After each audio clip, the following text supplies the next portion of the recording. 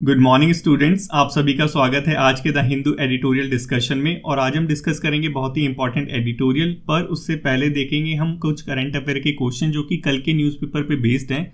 अगर आपको इनके आंसर पता है तो आप कमेंट बॉक्स में कमेंट कर सकते हैं, नहीं तो वीडियो के एंड तक रुकिए। हम इन्हें वीडियो के एंड में अच्छे से डिस्कस करेंगे। सो आज का डिस्कशन स्टार्ट करते हैं। सबसे पहले देखेंगे हम ये वाला एडिटोरियल सो बेसिकली जैसे आप सभी को पता है कि इंडिया में जनरल इलेक्शन होने वाले हैं 2024 सो so, इस एडिटोरियल में बेसिकली जो हमारी यूपीए गवर्नमेंट थी और जो हमारी एनडीए गवर्नमेंट है इन दोनों के बीच में कंपैरिजन किया गया है। यूपीएससी प्रोस्पेक्टिव से ये जो कंपैरिजन है ये इंपॉर्टेंट नहीं है लेकिन क्या चीज़ इंपॉर्टेंट है वो ये कि ये दोनों जो गवर्नमेंट थी ये खूब सारी स्कीम्स लेके आई थी वेलफेयर स्कीम्स लेके आई थी। तो इसके बारे में यहाँ पे कुछ डिस्कस किया गया है कि जो वेलफेयर स्कीम लेके आई थी स्कीम तो बहुत सारी थी लेकिन उनके अंदर जो बजट एलोकेशन था वो कहीं ना कहीं वहाँ पे इस गवर्नमेंट ने कंजूसी करी, जैसे यहाँ पे दिखाई दे रहा है कि जो शेयर था, वो ग्रेजुअली डिक्लाइन हुआ है 2014 से 2018-19 में जीडीपी में कि जो शेयर हम कंट्रीब्यूट करते हैं अपनी स्कीम्स के अंदर वेलफेयर स्कीम्स के अंदर, वो जो है कंट्रीब्यूशन वो कहीं ना कहीं डिक्लाइन हुआ है। भले ही स्कीम्स कितनी भी आई हो, लेकिन बजट वहाँ पे कम हुआ है। इस चीज़ को इस एडिटोरियल में पॉइंट आउट किया गया है और बेसिकली इसमें बोला गया है कि जो हमारी गवर्नमेंट है, नई वाली जो गवर्नमेंट है एनडीए गवर्नमेंट है, इसने सिर्फ़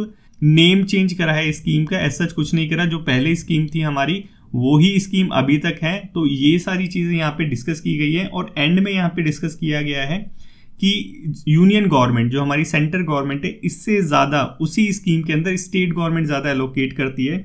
जैसे यहाँ पे एग्ज़ाम्पल भी दिया गया है कि जो सेंटर है, उसका कॉन्ट्रीब्यूशन जो सोशल सिक्योरिटी पेंशन स्कीम होती है उसमें दो सौ रुपये पर मंथ ही अटका हुआ है, वहीं पे स्टैग्नेटेड है, इससे बढ़ाया नहीं है हमारी यूनियन गवर्नमेंट ने। लेकिन स्टेट में स्टेट में क्या है कि उड़ीसा, तमिलनाडु का यहाँ पे एग्ज़ाम्पल लिया गया है कि मैटर्निटी रिलीफ प्रोवाइड किया जाता है प्रेग्नेंट वुमेन्स को। तो सेंटर की एक स्कीम है प्रधानमंत्री मातृत्व वंदना योजना। सो इस वंदना योजना के अंदर पाँच हज़ार से लेकर छः हज़ार तक का बेनिफिट दिया जाता है मैटरनिटी जो वुमेन होती है उसको। लेकिन जो गवर्नमेंट है स्टेट गवर्नमेंट यहाँ पे स्टेट गवर्नमेंट की बात हो रही है, वो दस हज़ार से अट्ठारह हज़ार तक इसका बेनिफिट दे रही है। तो यहाँ पे एडिटोरियल में साफ़ साफ़ दिख रहा है कि जो वेलफेयरिज्म होता है, वो स्टेट गवर्नमेंट ज़्यादा कर रही है और जो सेंटर गवर्नमेंट है, वो स्कीम पे स्कीम लेके आ रही है, लेकिन वहाँ पे जो बजट एलोकेशन है, वो बिल्कुल भी बढ़ नहीं रहा है और यही यूपीएससी का जो एस्पिरेंट है, वो प्रॉब्लम फेस करता है स्टार्टिंग में, क्योंकि जब वो पढ़ता है तो उसको लगता है कि गवर्नमेंट स्कीम्स तो बहुत लेके आ रही है, लेकिन इसका कुछ चेंज दिखने को नहीं मिल रहा तो उसका जो चेंज नहीं दिखता, उसका बहुत बड़ा रीजन क्या है? जो बजट होता है, उसको ही वो नहीं बढ़ाते। तो यही इस एडिटोरियल में बेसिकली मोटिव है डिस्कस करना हमारा। नेक्स्ट हम देखते हैं, ये वाला एडिटोरियल ये भी बेसिकली पॉलिटिक्स से रिलेटेड है बीजेपी का मैनिफेस्टो है, उसके बारे में डिस्कस किया गया है। नेक्स्ट हम देखते हैं ये वाला एडिटोरियल तो यहाँ पे कर्नाटका के अंदर पॉलिटिक्स डिस्कस की गई, इसको भी हम डिस्कस नहीं करेंगे। नेक्स्ट है ये वाला एडिटोरियल ये एडिटोरियल इंपॉर्टेंट है, इस एडिटोरियल में क्या डिस्कस किया गया है कि आपको पता है कि digital personal data protection act है, वो आ चुका है अगस्त 2023 में। सो ये जो प्रोटेक्शन एक्ट है डीपी डीपीडीपी ये जो प्रोटेक्शन एक्ट है डाटा प्रोटेक्शन जो एक्ट है, ये जो फ्री स्पीच होती है जर्नलिस्ट की उस पर कहीं ना कहीं कर्ब लगाता है। ये चीज़ यहाँ पे डिस्कस की गई है। बहुत ही इंपॉर्टेंट एडिटोरियल है। इन डेप्थ एनालिसिस किया गया है इसके अंदर। डाटा प्रोटेक्शन एक्ट का इसको हम अच्छे से डिस्कस करेंगे। नेक्स्ट हम देखते हैं ये वाला एडिटोरियल तो आप सभी को पता है कि हमारा जो फ़र्स्ट जो विंटर एक्सपीडिशन था आर्टिक में वो हमारा कंप्लीट हो चुका है। तो इस एडिटोरियल में डिस्कस किया गया है कि इंडिया ने क्यों अभी तक डिले किया। तो ऐसा क्या चेंज हुआ है? इस चीज़ को यहाँ पे डिस्कस किया गया और फर्दर हमारे फ्यूचर के क्या प्रोस्पेक्टिव हो सकते हैं नॉर्वेगियन कंट्रीज़ के साथ, इन सब चीज़ों को यहाँ पे डिस्कस किया है। तो इसको हम अच्छे से डिस्कस करेंगे। नेक्स्ट हम देखते हैं ये वाला एडिटोरियल तो ये बेसिकली डेटा पॉइंट है इंपॉर्टेंट होता है। यहाँ पे क्या डिस्कस किया है कि जो एविएशन सेक्टर है वो ग्लोबल में सीओ टू एमिशन में कितना कॉन्ट्रीब्यूट करता है? तो यहाँ पे बताया कि ग्लोबली एविएशन सेक्टर जो है, वो 2.5 2.5 परसेंट जो है कंट्रीब्यूट करता है ग्लोबली सीओ टू एमिशन में। तो आपको यहाँ पे एक चीज़ समझने की ज़रूरत है, वो क्या? कि जो हमारा एविएशन सेक्टर है, ये वर्ल्ड लेवल की बात हो रही है, ठीक है? एविएशन सेक्टर 2.5 परसेंट कॉन्ट्रीब्यूट करता है सीओ टू एमिशन में, लेकिन अभी तक जो हमारे पूरे वर्ल्ड में 100 परसेंट लोग जो है एयर से ट्रेवल नहीं करते। यहाँ पे बताया कि स्टडी में पाया कि सिर्फ़ 10 परसेंट जो लोग हैं, वो ट्रैवल करते हैं एयरलाइन से। तो यहाँ पे एक चीज़ डिस्कस की गई है जो बहुत ही इंपॉर्टेंट है वो क्या कि अगर, क्योंकि जैसे आप सभी को पता है, सभी पूरे वर्ल्ड में हर लोगों का इकोनॉमिक स्टेटस बढ़ रहा है, हर चीज़ एक्सेसिबल होती जा रही है। तो जैसे जैसे जैसे एविएशन सेक्टर एक्सेसिबल हो पाएगा उन पुअर लोगों के लिए तो क्या होगा, ये जो एमिशन है, ये और बढ़ेगा। और जो ग्लोबल वार्मिंग है और कंट्रीब्यूट करेगा वहाँ पे। तो ये एंगल यहाँ पे डिस्कस किया गया है जो बहुत ही इंपॉर्टेंट है। तो इसको आप थोड़ा सा ध्यान में रखना और एज सच इस एडिटोरियल में और कुछ ऐसा नहीं है। तो आज का अपना डिस्कशन हम स्टार्ट करते हैं। सो so, आप इस एडिटोरियल को जीएस पेपर टू के गवर्नेंस वाले टॉपिक से रिलेट कर सकते हैं। तो डिस्कशन स्टार्ट करते हैं। सो so, जैसे आप सभी को पता है कि अगस्त 2023 के अंदर इंडिया में हमारा जो फ़र्स्ट था कॉम्प्रहेंसिव डाटा प्रोटेक्शन जो लॉ है वो आ चुका है under digital personal data protection act 2023 so ये जो लॉ है हमारा डाटा प्रोटेक्शन लॉ, इसके अंदर जो बेसिक टीनेट्स है वो क्या कि ये बेस है किस पे? यूज़र्स कंसेंट में कि अगर आपका पर्सनल डाटा है, किसी को एक्सेस करना है तो आपकी कंसेंट वहाँ पे मेन है इंपॉर्टेंट है। सो so बेसिकली इसमें बेसिक जो राइट्स है जिन पे ध्यान दिया गया है वो क्या? कि एक्सेस करे तो आपकी कंसेंट से करे। अगर आप चाहते हैं कि वो जो डेटा है वो इरेज कर दे तो वो भी आप वो भी इस प्रोटेक्शन एक्ट के अंदर प्रोवाइड किया गया है। और कुछ कॉम्प्लिकेशन है कुछ ऑब्लिगेशन है जो कंपनीज़ के ऊपर लगाई गई हैं। तो यहाँ पे इस एडिटोरियल में डिस्कस किया गया है लेकिन ये जो एक्ट है ये इम्पैक्ट करता है फ्री स्पीच किसकी? जर्नलिस्ट की। सो so, यहाँ पे एडिटोरियल में इतना बड़ा क्वेश्चन उठाया गया कि जो पर्सनल डाटा एक्ट है, जिसमें कंसेंट जो है यूज़र कंसेंट जो है बेसिक टीनेट्स है, इसके बाद ये कैसे फ्री स्पीच को हेम्पर करता है हमारी जर्नलिस्ट की, ये बहुत बड़ा क्वेश्चन है, जो इस एडिटोरियल में रेज किया गया है। तो इसका आंसर हमें फाइंड आउट करना बहुत ज़्यादा इंपॉर्टेंट है कि कैसे कर रहा है ये सारी चीज़ें। जो पर्सनल डाटा एक्ट है, कैसे ये सारी चीज़ कर रहा है, कैसे हैम्पर कर रहा है फ्री स्पीच को। तो यहाँ पे डिस्कस किया गया इस एडिटोरियल कि लेट से एक एग्ज़ाम्पल दिया गया है कि अगर कोई मेंबर ऑफ़ पार्लियामेंट है, कोई जर्नलिस्ट किसी मेंबर ऑफ़ पार्लियामेंट के ऊपर नज़र रखता है, उसकी पर्सनल एक्टिविटीज़ के ऊपर, कि वो कैसे ट्रैवलिंग करता है अपने बिज़नेस के लिए, कहाँ उसका इन्वेस्टमेंट है, कितना उस पर फाइनेंशियल आउटपुट है, कितना उस पर फाइनेंशियल इनकम है उसकी तो ये जो सारी चीज़ें हैं, ये पब्लिक डोमेन में तो अवेलेबल नहीं है। उसके लिए वो सर्च करेगा रिसर्च करेगा आरटीआई लगाएगा, यहाँ से इंफॉर्मेशन लेगा, वहाँ से इन्फॉर्मेशन लेगा। कलेक्ट करके वो पूरा थेसिस बनाएगा अपना कि ये जो एम पी है मेंबर ऑफ़ पार्लियामेंट है, वो क्या है? एक करप्ट आदमी है, क्योंकि उस पर उसकी आय से ज़्यादा इनकम है। अब अगर वो इस स्टोरी को पब्लिश करना चाहेगा न्यूज़पेपर के अंदर तो उसके लिए भी उसको उस एमपी की कंसेंट लेनी पड़ेगी अंडर दिस एक्ट क्यों? क्योंकि वो जो डेटा उस जर्नलिस्ट ने कलेक्ट करा है, वो क्या है? उसका पर्सनल डेटा है एमपी का। उस मेंबर ऑफ़ पार्लियामेंट का पर्सनल डेटा है, भले ही वो करप्ट हो, लेकिन फिर भी उसका वो पर्सनल डेटा है। उसके लिए उसको वहाँ से कंसेंट लेनी पड़ेगी। और लेट से अगर उसने कंसेंट ले लिया और पब्लिश कर दिया, उसके बाद भी अगर एमपी बोलेगा कि इसको हटाओ न्यूज़पेपर में, इसको न्यूज़पेपर से हटाओ या डिजिटल में अगर ये तुमने डाल रखा है डिजिटल मीडिया में, इसको वहाँ से हटाओ तो वो उसको हटाना पड़ेगा। तो यहाँ पे डिस्कस किया गया है कि जनरली क्या होता है कि कोई भी, किसी भी कंट्री में डाटा प्रोटेक्शन जो लॉ होता है, वो जर्नलिस्ट एक्टिविटी को, क्योंकि जर्नलिस्ट क्या होता है निष्पक्ष काम करता है, वो फेयर काम करता है। तो जर्नलिस्ट एक्टिविटी को जो है डाटा प्रोटेक्शन लॉ से एग्जाम्प्ट किया जाता है। लेकिन हमारा जो एक्ट है 2023 का, इसके अंदर जो प्रोटेक्शन है उसके अंदर उस, उससे जर्नलिस्ट को एग्जाम्प्ट नहीं किया गया। यही जो मेन पॉइंट है इस एडिटोरियल में डिस्कस किया गया है। तो यहाँ पे आप सोच सकते हैं कि ये किसकी प्रोटेक्शन के लिए आया हमारे डाटा, हमारा जो पर्सनल डेटा है उसकी प्रोटेक्शन के लिए आया है या फिर जो एम पीज जो मिनिस्टर्स हैं उनके पर्सनल डेटा के प्रोटेक्शन के लिए आया है।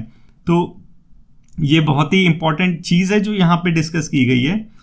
सो so, यहाँ एडिटोरियल में डिस्कस किया गया है कि ये जो हमारा मीडिया है फोर्थ पिलर जिसे कहते हैं इंडियन कॉन्स्टिट्यूशन का हमारा फोर्थ पिलर है ये जो मीडिया है फ्री प्रेस तो ये क्या करता है? ये स्टेट को अकाउंटेबल ठहराता है। यही अकाउंटेबिलिटी तो है जो हमारी डेमोक्रेसी को डेमोक्रेसी बनाती है। अब ये जो फोर्थ मीडिया है, इसी का तुमने जो पिलर है, उसको तोड़ दिया है कि इसी को तुमने एग्जाम्प्ट नहीं करा है डाटा प्रोटेक्शन एक्ट से। कोई भी पर्सनल जो आदमी है लेट से इस केस में हमारा एमपी है, वो अब इस एक्ट के थ्रू तुम्हारा जो फोर्थ पिलर है, उसका जो इंडिपेंडेंट वर्क है, उसको हैम्पर कर सकता है। तो कहीं ना कहीं ये जो एक्ट है, ये फोर्थ पिलर को क्या कर रहा है? हेम्पर कर रहा है स्टेट को अकाउंटेबल ठहराने से रोक रहा है। तो यही चीज़ इस एडिटोरियल में डिस्कस की गई है। और इस एडिटोरियल में फिर डिस्कस करा है कि ये जो लॉ है तो जब ये लॉ आया था तो ओपन और ट्रांसपेरेंट ऐसा दिखाया गया था पब्लिक कंसल्टेशन के लिए लाया था। तीन सेपरेट ड्राफ्ट आए थे इस डेटा के रिलीज़ करे थे गवर्नमेंट ने कि पब्लिक क्योंकि क्या होता है, कोई भी जो लॉ आता है तो डेमोक्रेसी में क्या होता है, हमारी इंडिया में स्पेशली ये होता है कि जब लॉ आता है लॉ ड्राफ्टिंग स्टेज में होता है लॉ अभी जो एक्ट है, वो बिल है। बिल जब आता है पार्लियामेंट में तो जो बिल होता है, उसको पब्लिक डोमेन में रखा जाता है। कि जो पब्लिक है उस पर कमेंट करेगी। बेसिकली जर्नलिस्ट होते हैं एक्टिविस्ट होते हैं वो उस पर कमेंट करते हैं। तो उसके बाद वो क्या होता है? उस कमेंट को इम्प्लाई किया जाता है पब्लिक डोमेन में फिर रखा जाता है। ये सारी चीज़ें होती हैं। सो so, यहाँ पे डिस्कस किया गया है कि तीन सेपरेट ड्राफ्ट आए थे इस डाटा प्रोटेक्शन लॉ के। पब्लिक कंसल्टेशन के लिए रखा गया था। लेकिन जो भी कमेंट रिसीव हुए इस ड्राफ्ट में वो पब्लिक डोमेन में रिलीज़ ही नहीं करे करे गए। तो आप खुद सोचिए कि जो कमेंट करे हमारे जर्नलिस्ट ने, हमारे जो एक्टिविस्ट हैं उन्होंने, उसको पब्लिक डोमेन में ही रखा। तो जो हमारी सिटीजन है, उसको पता ही नहीं चला कि जो बेसिकली स्टेक होल्डर कौन है, हम ही तो है। हमें पता ही नहीं चला कि इस जो ड्राफ्ट है, इसमें कमियाँ क्या है। क्योंकि जब कोई कमेंट करेगा, उस कमेंट को तुम पब्लिक डोमेन में रखोगे, तब तो पता चलेगा कि इसमें क्या कमियाँ है। क्योंकि जो हमारा आम आदमी है, वो तो ये जो बड़े बड़े लॉज होते हैं कॉम्प्लिकेटेड होते हैं, इनको एनालाइज हम कर नहीं पाते उस लेवल पे। तो यहाँ पे डिस्कस किया गया एडिटोरियल में कि इसको पब्लिक डोमेन में ही रखा। तो जो स्टेक होल्डर्स है रियल स्टेक होल्डर्स उनको पता ही नहीं चल पाया कि एक्चुअल में ये चीज़ क्या है। लेकिन इस एडिटोरियल में डिस्कस किया गया है कि उस जो टाउन हॉल में मीटिंग हुई थी, जहाँ से फीडबैक लिए गए, वहाँ पे ये चीज़ डिस्कस ही नहीं की गई कि जो जर्नलिस्ट है, उनको एग्जेम्प्ट किया जाएगा इस डेटा प्रोटेक्शन एक्ट के अंदर। यहाँ पे डिस्कस किया गया है। सो यही पूरा जो एडिटोरियल है, यही इसी बात को घुमा फिरा के बात कर रहा है। तो यहाँ पे एंड में आता है कि अब सॉल्यूशन क्या होना चाहिए? कि अब ये डेटा ये जो प्रोटेक्शन एक्ट है, वो तो आ चुका है। अब हमें सॉल्यूशन फाइंड आउट करना है। तो सॉल्यूशन भी इस एडिटोरियल के एंड में बता रखा है कंक्लूजन में। क्या बता रखा है कि अंडर एक्ट कि ये जो डेटा प्रोटेक्शन एक्ट है, इसी के अंदर ही सेंट्रल गवर्नमेंट को पावर दे रखी है कि वो किसी भी डाटा प्रोसेसर को, इस केस में हमारा जर्नलिस्ट उसको एग्जेम्प्ट कर सकता है, ठीक है? इस लॉ के एक्ट से। तो यहाँ पे एडिटोरियल में एडवाइस दी गई है गवर्नमेंट को कि गवर्नमेंट को अपनी इस पावर का यूज़ करते हुए अंडर दी एक्ट जो जर्नलिस्ट है, उसको एग्जेम्प्ट करना चाहिए ताकि जो हमारा फोर्थ पिलर है, वो अच्छे से काम कर सके और स्टेट को अकाउंटेबल ठहरा सके। तो यही सारी चीज़ इस एडिटोरियल में डिस्कस की गई है। जो हमारे लिए जानना ज़रूरी है कि जो हमारा एक्ट है, वो उसमें कमियाँ क्या है, कि कर क्या रहा है वो एक्ट यूपीएससी प्रोस्पेक्टिव से बहुत ज़्यादा इंपॉर्टेंट है। सो अब मूव करते हैं अपने नेक्स्ट एडिटोरियल की तरफ़। सो so, आप इस एडिटोरियल को जीएस पेपर टू के बायलैटरल रिलेशन से रिलेट कर सकते हैं। सो डिस्कशन स्टार्ट करते हैं। सो so, जैसे हम सभी को पता है कि इंडिया ने इस बार इस मार्च 2024 में अपना जो फ़र्स्ट एक्सपेडिशन था एक्सपीरियंस था आर्कटिक में आर्टिक विंटर में वो पहली बार सक्सेसफुली एंड किया है। तो यहाँ पे आपके लिए जानना ज़रूरी है कि हमारा जो इंडिया है इंडिया का एक रिसर्च स्टेशन है कहाँ पे सालवाबार्ड, नॉर्वे में। हिमाद्री उसका नाम है और इस स्टेशन को क्या कहते हैं? इंटरनेशनल आर्कटिक रिसर्च बेस ये जो हमारा इंडिया का बेस है, यहाँ पे पहली बार हमने मार्च 2024 में अपना जो एक्सपेडिशन था विंटर का, वो कंप्लीट करा। सो अभी तक जो इंडिया था, वो विंटर में वहाँ पे जो रिसर्च करा हमने, उसको करने के लिए एग्री नहीं होता था। तो इस बार यहाँ पे एडिटोरियल में डिस्कस किया गया कि अब ऐसा क्या चेंज हुआ है वहाँ पे कि इंडिया ने पहला स्टेप उठाया है। कि विंटर में हमने वहाँ पे एक्सपीरियंस करा आर्टिक में तो डिस्कस किया गया है कि चेंज क्या क्या चीज़ चेंज हुई है कि आर्टिक जैसे आप सभी को पता है क्लाइमेट चेंज हो रहा है ग्लोबल वार्मिंग हो रही है तो जो आर्टिक हमारा है, वो धीरे धीरे धीरे धीरे वार्म हो रहा है और आर्टिक वार्मिंग मतलब आर्टिक जो वार्म हो रहा है, उसके कुछ कॉन्सिक्वेंसेज है जो हमें इंडिया में देखने को मिल सकते हैं। कैटेस्ट्रॉफिक कॉन्सिक्वेंसेज की बहुत ही खतरनाक कॉन्सिक्वेंसेज क्लाइमेट चेंज के, जैसे मानसून पे हमारे इफ़ेक्ट पड़े। ये सारी चीज़ें हमें देखने को मिल सकती है। इसकी वजह से हमारा जो इंटरेस्ट है विंटर में भी अब आर्टिक में उजागर हुआ है। इस चीज़ को यहाँ पे डिस्कस किया गया है। नेक्स्ट यहाँ पे डिस्कस किया गया है कि जैसे जैसे ग्लोबल वार्मिंग हो रही है नए नए सी रूट्स खुल रहे हैं।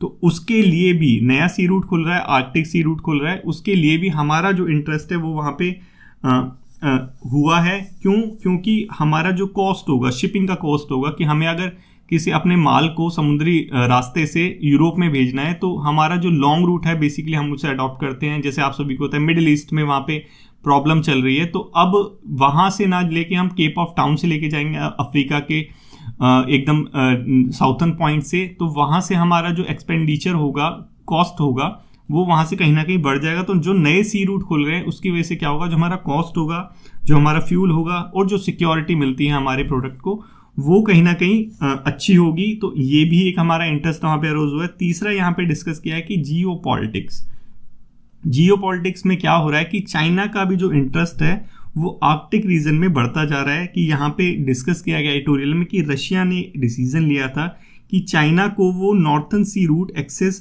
provide कराएगा एक्सपांड करेगा उसका। तो ये कहीं ना कहीं इंडिया के लिए क्या है चिंता की बात है। इस चीज़ को एडिटोरियल में डिस्कस किया गया तो हमने तीन डायमेंशन देखी कि क्यों हमारा जो इंटरेस्ट है वो वहाँ पे बढ़ रहा है। नेक्स्ट यहाँ पे डिस्कस किया गया है कि ऐसा नहीं है कि इंडिया जो है, इस रीजन में, इस जो ये नॉर्वे वाला रीजन है आर्कटिक वाला जो रीजन है, यहाँ पे न्यू कमर है, अभी नया नया नहीं आया यहाँ पे इंडिया इंडिया यहाँ पे 1920 से है। इंडिया ने सबसे पहले 1920 में पेरिस में सालवाबार ट्रेटी को साइन किया था। फिर इंडिया ने 2007 में अपना हमारा जो फ़र्स्ट रिसर्च मिशन था इन्वेस्टिगेट करने के लिए एटमॉस्फेरिक साइंस और जियोलॉजी आर्कटिक में जो हो रहा है उन सब चीज़ों को हमने फ़र्स्ट 2007 में स्टार्ट करा था। फिर 2000 फिर हमने 2013 में ऑब्जर्वर का स्टेटस प्राप्त करा था आर्कटिक काउंसिल से। तो हम जो है धीरे धीरे यहाँ पे उजागर हो रहे हैं। और इंडिया क्या है पहली डेवलपिंग कंट्री थी जिसने ऐसा करा था एक्सेप्ट चाइना चाइना को छोड़ के। सो so, अब नेक्स्ट यहाँ पे डिस्कस किया गया कि 2004 में हमने मल्टी सेंसर मूड ऑब्जर्वेटरी भी खोली थी सालवा बोर्ड में। 2016 में हमने एटमॉस्फेरिक लेबोरेटरी भी खोली थी। तो यहाँ पे आप देख सकते हैं कि इंडिया कोई न्यू कमर नहीं है इस रीजन में। हम 1920 से लेके अभी तक यहाँ पे कुछ ना कुछ कुछ ना कुछ इनिशिएटिव करते आए हैं। और इसी चीज़ को यहाँ पे एडिटोरियल में डिस्कस किया गया है कि हमारा जो मेन फोकस है वो क्या इस स्टेशन के साथ आर्टिक स्टेशन के साथ, यहाँ पे जो हमारे सालवा बोर्ड है, वहाँ पे कि ये जो ग्लेशियर मेल्ट हो रहा है, आर्टिक आइस, जो आर्टिक सिस्टम है, आइस है वहाँ पे वहाँ पे जो ग्लेशियर मेल्टिंग हो रही है, आर्टिक मेल्टिंग हो रही है, उसका कॉन्सिक्वेंसेज हिमालयन सिस्टम के ऊपर, इंडियन मानसून सिस्टम के ऊपर क्या देखने को मिलता है? इसमें इंडिया का सबसे बड़ा इंटरेस्ट है, इसीलिए जो हमारा इंटरेस्ट है वो नॉर्वे में है। तो इस चीज़ को आपको समझने की ज़रूरत है कि क्यों इंडिया इंटरेस्टेड है, क्योंकि हमारे जो इंटरनल इंटरेस्ट है वो कौन से उस वो खतरे में है। क्यों खतरे में है? क्योंकि अगर इंडियन मानसून जरा सा गड़बड़ा गया तो 51 परसेंट पॉपुलेशन उस पर डिपेंड करती है। उसकी इनकम कहीं ना कहीं गड़बड़ा जाएगी और जो हमारा इकोनॉमिक वो है स्टेटस है जो हमारा इकोनॉमी है वो कहीं ना कहीं गड़बड़ा जाएगी। इसीलिए हम उसको लॉन्ग टर्म में सोच के अपना नॉर्वे में अपना इंटरेस्ट बढ़ा रहे हैं। इस चीज़ को यहाँ पे डिस्कस किया गया है। सो so, यहाँ पे ये भी डिस्कस किया गया है कि हमारे इंडिया के अंदर ही जो हमारे एकेडमिक है और जो पॉलिसी कम्युनिटीज़ हैं इनके अंदर ही कुछ ना कुछ मतभेद है आर्कटिक रीजन को लेके।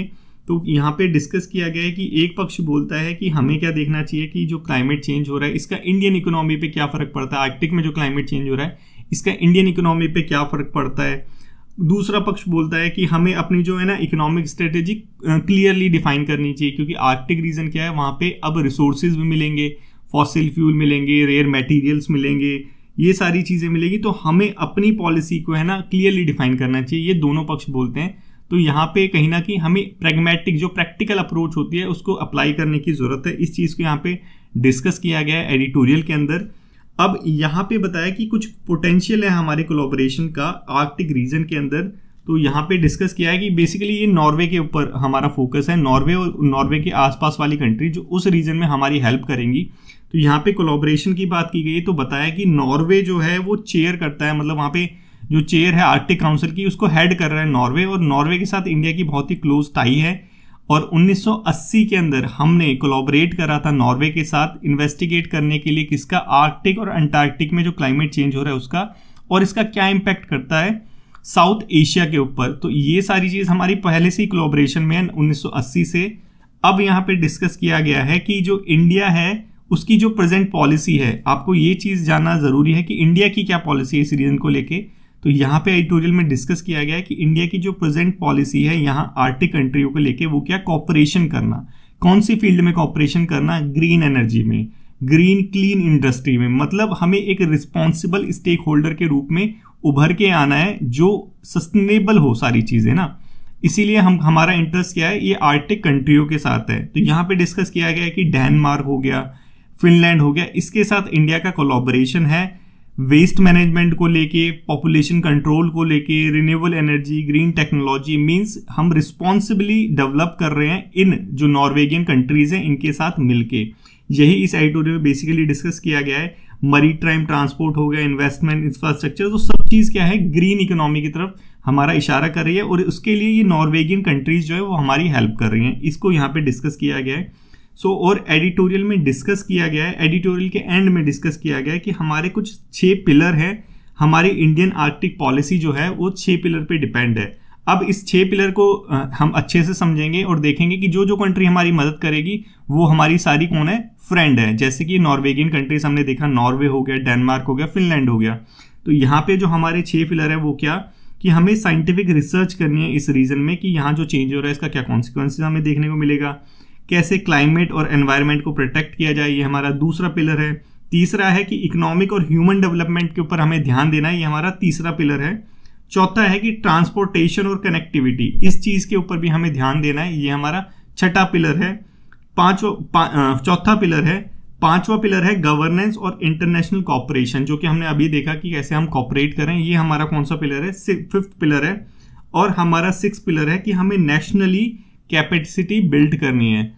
तो यही हमारे छह पिलर है आर्टिक पॉलिसी को लेके, और इस छह पिलर के अंदर नॉर्वे हमारा सबसे अच्छा इंपॉर्टेंट पार्टनर है। इसी चीज़ को यहाँ पे डिस्कस किया गया है, और नॉर्वे के साथ हमें टाइप बढ़ाने चाहिए अपने इंटरेस्ट को लेके और उस वर्ल्ड इंटरेस्ट को लेके। सो इसी सारी चीज़ों को इस एडिटोरियल में डिस्कस किया गया है, जिसके साथ इंडिया ने अपना जो है फ़र्स्ट जो विंटर का एक्सपेडिशन है आर्टिक ओशन में नॉर्वे में, वो कंप्लीट करा। तो यही सारी चीज़ इस एडिटोरियल में डिस्कस की गई है। आई होप आपको ये एडिटोरियल अच्छे से समझ आया होगा। अब मूव करते हैं अपने करंट अफेयर के क्वेश्चन की तरफ़। सो so, सबसे पहले हम डिस्कस करेंगे फ़र्स्ट क्वेश्चन तो जैसे मैंने कल आपसे बोला था कि जो हमारी वियना कन्वेंशन और डिप्लोमेटिक रिलेशंस है जो कल एडिटोरियल आया था हमने बोला था कि हम इसे प्रीलिम्स के क्वेश्चन के थ्रू डिस्कस करेंगे।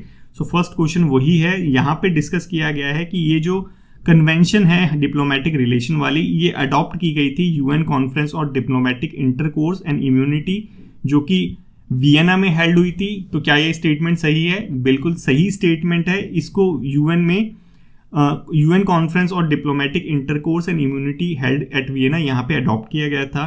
अब नेक्स्ट जो स्टेटमेंट है, वो क्या? कि टोटल 193 जो कंट्रीज़ है, इसके अंदर इंक्लूड है इंक्लूडिंग इंडिया तो आपको समझना चाहिए कि इंडिया ने भी ये जो हमारा डिप्लोमेटिक रिलेशन है, इसको साइन कर रखा है रेक्टिफाई कर रखा है। तो ये जो सेकेंड स्टेटमेंट है, ये भी सही है। थर्ड स्टेटमेंट देखते हैं। सॉरी, थर्ड स्टेटमेंट है कि इस जो कन्वेंशन है डिप्लोमेटिक रिलेशन जिसमें इंडिया भी इसका रेक्टिफाई कर रखा है तो इसके अंदर जो डिप्लोमेट्स हैं, उनको हम कुछ एग्जेम्पन देते हैं लॉ के अंदर टैक्सेस के अंदर, जो होस्ट कंट्री है। कि जैसे लेट से यूएस का कोई डिप्लोमेट है, वो इंडिया में आता है तो उसको कुछ एग्जेम्पन मिलती है। तो यहाँ पे आपको एक बार आर्टिकल 14 देखना चाहिए, कि हमने प्रीवियस हमने क्वेश्चन भी डिस्कस किया था इसका कि जो आर्टिकल 40 है, उसके अंदर कॉन्स्टिट्यूशनल एग्जामेशन होते हैं ओनली तो यहाँ पे क्या है, आप देख सकते हैं, ये कॉन्स्टिट्यूशन एग्जामेशन नहीं, ये हमारी कन्वेंशन इंटरनेशनल जो हमने ट्रीटी साइन करी है, इसके अंदर एग्जामेशन है। वो भी आर्टिकल 40 के एग्जामेशन के अंदर आते हैं कि डिप्लोमेट होता है, उसको इम्यूनिटी होती है इंडियन लॉ से अरेस्ट वगैरह से। तो ये क्या है कि ये थर्ड स्टेटमेंट भी फिर तो सही हुई। तो इसका आंसर क्या हुआ, हमारा only three options are right तो हमारी जो तीनों स्टेटमेंट है, वो सही है। तो आई होप आपको ये समझ आया होगा वीना कन्वेंशन के अंदर ही जो हमारे डिप्लोमेट्स होते हैं, उनको इम्यूनिटी मिलती है किसी होस्ट कंट्री के अंदर, और ये कब साइन हुई थी और इंडिया ने भी इसको रेक्टिफाई करा है। नेक्स्ट हम डिस्कस करते हैं एटना वॉल्केनो के बारे में। तो यहाँ पे बता, ये ऑफन न्यूज़ में था, कल की न्यूज़ में था तो यहाँ पे पूछा गया कहाँ पे है ये एटना वॉल्केनो तो एटना वोल्केनो में बेसिकली क्या हो रहा था कि गोल गोल जैसे छल्ले होते हैं, वो वहाँ वोल्केनो से, उसके क्रिएटर से निकल रहे थे। तो इसलिए वो न्यूज़ में था। और आपको पता होना चाहिए कि जो एटना वोल्कन है, वो इटली के अंदर है। इटली के अंदर कहाँ पे है? सिसली में है, इटली के अंदर। तो वहाँ पे वो जो वॉर्टेक्स रिंग जिसे मैंने अभी बोला, छल्ले से निकल रहे थे भाप के तो उसे कहते हैं वॉर्टेक्स रिंग वो निकल रही थी वहाँ से एटना वोल्केनो से, और ये जो छल्ले थे, ये वाटर वेपर से रिलीज़ हुए हैं उसके वेंट से। तो इसी चीज़ को यहाँ पे डिस्कस किया गया है। तो आपको याद रखना है, एटना वोल्केनो कहाँ पे है? इटली के अंदर। थर्ड हम क्वेश्चन देखते हैं। थर्ड क्वेश्चन है कि जो ब्लैक सॉफ्ट शेल टर्टल होता है वो कहाँ पे पाया जाता है? इसके बारे में तीन स्टेटमेंट दे रखी है। तो ये कल के न्यूज़पेपर में था। और ये आपको समझना चाहिए कि इंपॉर्टेंट है जो न्यूज़ में आता है। तो जो फ़र्स्ट स्टेटमेंट है वो क्या दे रखी है कि ये क्रिटिकली एंडेंजर्ड कैटेगरी में आता है आयुसियन रेड लिस्ट की। सो so, ये जो फ़र्स्ट स्टेटमेंट है बिल्कुल सही है। जो हमारा ब्लैक सॉफ्ट टर्टल है आयुसेन ने एक बार इसको एक्सटिंक्ट भी कर दिया था कि एक्सटिंक्ट हो चुका है, लेकिन ये हमारे जो मंदिर वगैरह होते हैं इंडिया में, उसके जो पॉन्ड होते हैं, तालाब होता है उसके पीछे, उसके अंदर जो कछुआ पाता है, उसे कहते हैं ब्लैक सॉफ्ट शेल टर्टल तो क्रिटिकली एंडेंजर्ड तो वो है तो पहला स्टेटमेंट सही है। सेकेंड स्टेटमेंट है कि ये जो टर्टल है, इसकी पूजा की जाती है, इसको विष्णु का अवतार माना जाता है हमारे हिंदू सिस्टम के अंदर। तो जो सेकेंड स्टेटमेंट है, ये भी सही है। क्योंकि हमारे पौंड के अंदर ये पाता है कि आपने देखा था विष्णु जी का एक कछुआ कच्छ अवतार भी हुआ था। तो वही ये क्या है ब्लैक सॉफ्ट शेल टर्टल है। सी स्टेटमेंट जो यहाँ पे पूछी है वो क्या, कि ये जो फ्रेश वाटर टर्टल है, सिर्फ़ इंडिया के अंदर पाता है। तो इस स्टेटमेंट के ऊपर आपको ध्यान देने की ज़रूरत है और आप बताइए कि क्या सिर्फ़ ये इंडिया के अंदर पाएगा। तो ये जो स्टेटमेंट है, ये रॉन्ग है, ये सिर्फ़ इंडिया के अंदर नहीं पाता, ये जो हमारी नेबरिंग कंट्रीज़ है, जैसे बांग्लादेश। यहाँ पे भी मिलता है। तो यहाँ इसका आंसर कौन, क्या हुआ? ए और बी सिर्फ़ दो स्टेटमेंट यहाँ पे सही है। सो आई होप आपको आज का एडिटोरियल ये क्वेश्चन समझ आए होंगे। आज के डिस्कशन में बस इतना ही। Thank you thank you so much for today's discussion